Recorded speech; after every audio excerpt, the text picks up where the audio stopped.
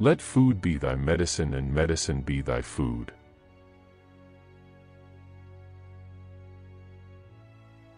Healing is a matter of time, but it is sometimes also a matter of opportunity.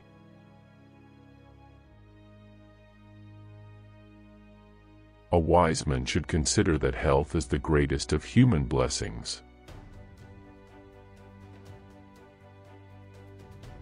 Natural forces within us are the true healers of disease.